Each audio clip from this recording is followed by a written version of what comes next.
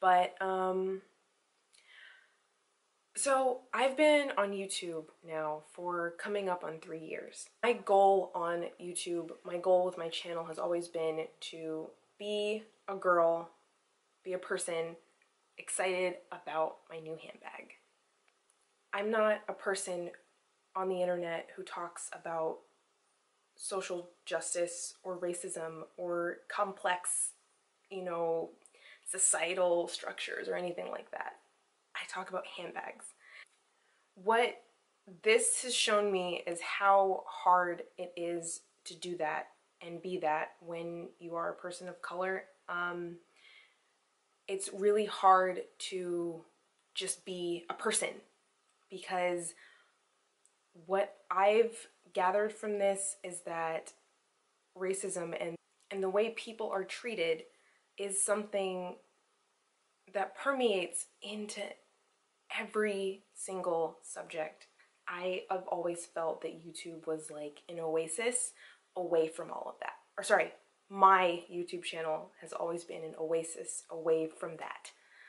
Um, because that's what I feel, that's what I felt like I needed. And this just reinforces the fact, this Gucci situation, as small and insignificant as some of, some of you may think that it is, it really just reinforces the fact that I, there is no escape. When you scratch the surface, everything, it all comes back to this. Like, I think the big problem with this, with the whole Gucci situation is that it didn't occur to them that this might hurt people. And when, and again, that is something that I can understand because there are things that don't occur to me sometimes. And I am aware of that. I'm aware that I don't, that there are other people and other things to take into account that I may not even have any understanding of. I'm very, very aware of that, but that's because so often no one takes me and my feelings into account. Um,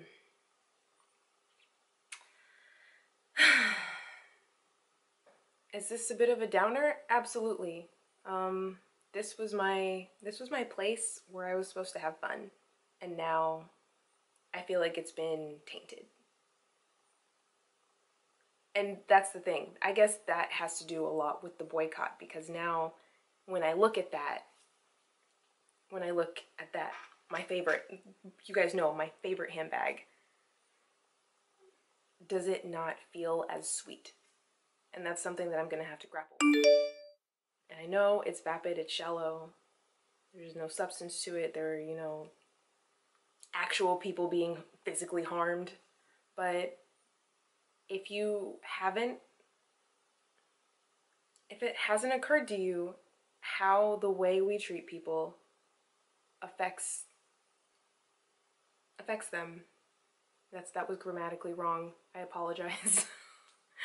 if it hasn't occurred to you how the way people are treated, how that permeates into our society, maybe this can be an example. Think about how that causes other people to move through the world. I guess. It's not always life or death, but stuff like this I'm not gonna lie to you, as vapid and shallow and, and, and substanceless, I'm sure I made up that word, shoot me, um, it stings. It really does. But